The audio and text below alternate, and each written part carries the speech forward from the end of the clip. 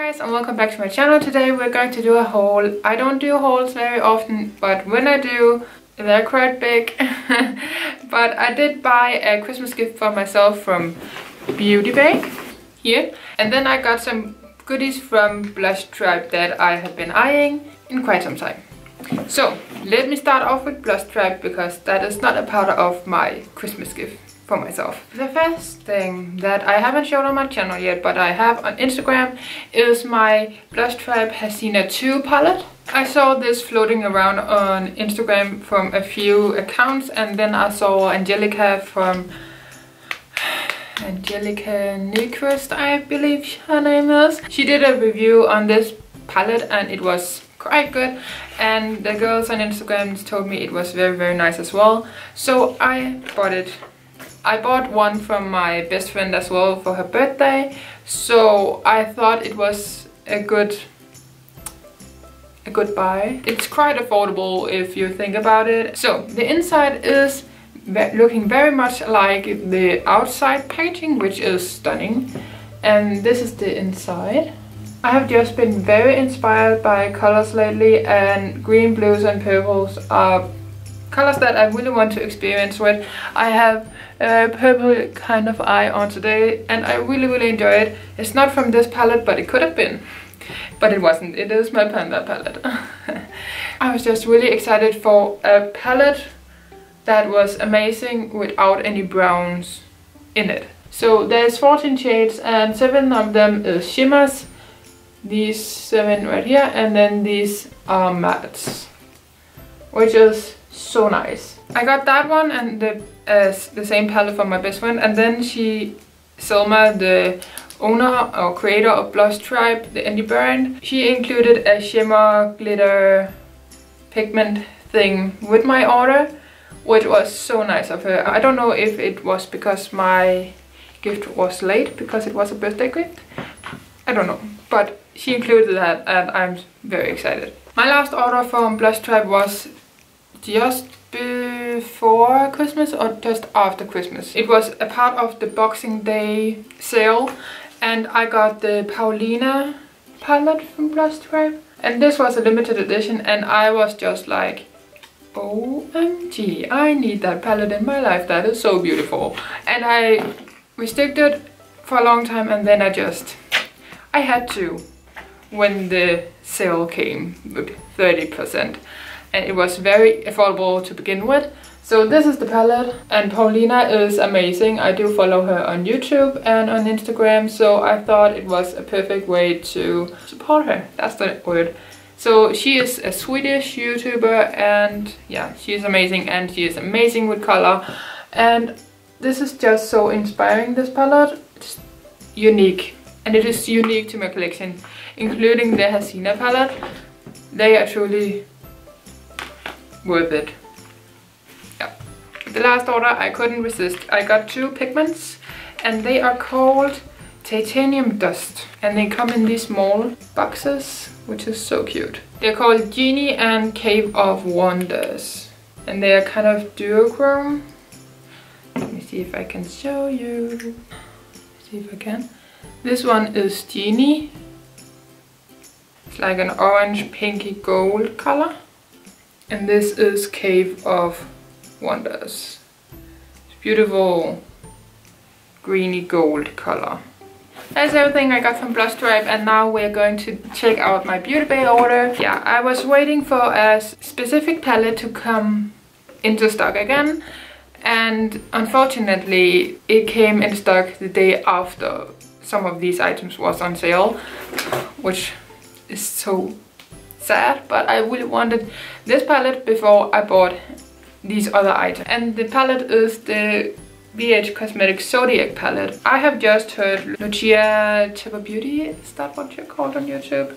Lucia have raved about this palette and it is beautiful and I just couldn't resist and it was pretty affordable as well. BH Cosmetics, it's not that expensive so it comes with 25 eyeshadows and a highlighter. The outer rim is baked shimmer shadows and the inner rim is matte shadows and then there's a highlighter here in the middle. Lucia says that the shimmers here, the baked ones, are best with fingers so that is what I think I'm going to do but yeah I'm just really really excited and it is so beautiful. I have swatched some of the colors in every palette that I have gotten and they are so pigmented and I'm so excited about what I have gotten. And then other one is the BH Cosmetics Fe Weekend Festival palette. I, I had to. it's so stunning. I love any kind of festival and the color scheme and the picture here on the front.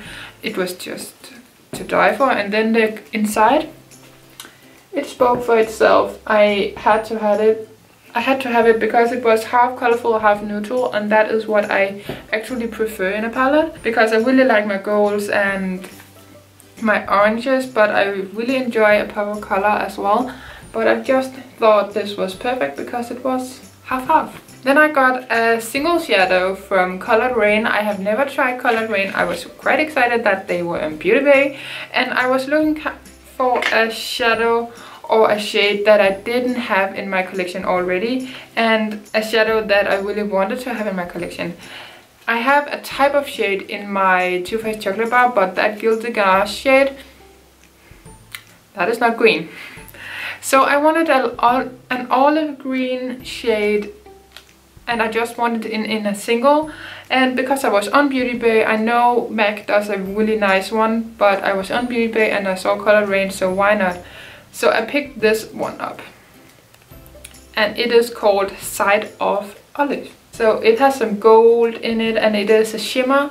And I didn't want a matte color because I have so many mattes that compare with this. I just really wanted this kind of color so I thought it was a good choice to get it in a single form. Then we have an BH Cosmetics, yep I'm not done, a BH Cosmetics Eyelight right? Eyelights, the waterproof eye color in... What color are you in? What color are you? Well, I believe it is a part of the Weekend Festival collection thingy thingy with BH Cosmetics. And this is the one. It is a beautiful color. I think it's very very similar actually to to this the the loose pigment from Blush Tribe not quite, but you know, orangey gold. It is my thing. I love my orange gold and covery bronzy shades. It's just beautiful and I can't wait to use it.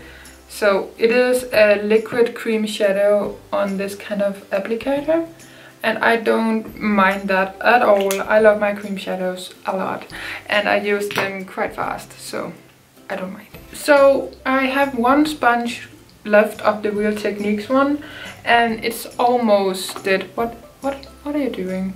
Stop that. I wanted to try a new sponge and that is the BH Studio Pro from BH Cosmetics. The black sponge that they have. It's not very expensive so I thought why not try a new one even though I'm very committed to my Real Technique ones. So it is looking like this. I've not had the best luck with sponges besides of the Real Techniques so I'm very excited but this it's very, very soft when it's dry. So I have really good hopes for this being very nice and soft when it gets wet. So the last item I have it is a skincare product which is leaking everywhere. nice. It is the Mario Badescu drying lotion. I am dealing with spots and pimples and stuff like that on kind of a regular basis. Uh, even on period and off period sometimes. And I'm still kind of young just turned 24 so I still get breakouts now and then. So I thought I wanted a drying lotion to calm them down. Um, I don't expect them to go away but I want them to get smaller. And this is working. I have used this for a few weeks now. Every single night I do on the pimples I can see and I try to fill my face and then I know where the pimple are even though I can't see it. And I got it in the plastic bottle. I know you can get it in a glass one and I guess that is better for the environment but I thought it was a good choice to get the plastic one if I wanted to travel because the glass one can break. So I got the plastic version even though I know you shouldn't buy plastic all the time. I'm really really happy with this. It is not a very cheap one uh, but it's not overly uh, expensive either and you don't go through this very fast. So this lasts forever and I'm very grateful because it has worked and drying out my pimples. That was everything for my haul. I hope you guys enjoyed. I really enjoyed chatting with you guys uh, about my new stuff. I don't plan on buying a lot more stuff uh, in the future, not makeup wise. I do have a lot and I want to go through more than I did last year. From now on I'm not a W7 ambassador anymore. If you don't know, I have been for the past year and a half and I have gotten a lot of stuff and most of my collection is W7 because I have gotten that much and I have gotten rid of a lot and I have tried to use stuff up that wasn't W7 because I bought it with my own money. But now that I'm not a W7 ambassador, I don't get things into my collection um, unless I buy it myself. So that is a good thing. So I'm not planning on doing a low buy or no buy because I'm pretty good at not buying a ton of stuff just to buy them, you know. These items I have bought in this haul was on my list wish list for most of 2018 and then I just splurged over Christmas because I, because of my surgery and I felt bad for myself and I just thought I deserved a little treat.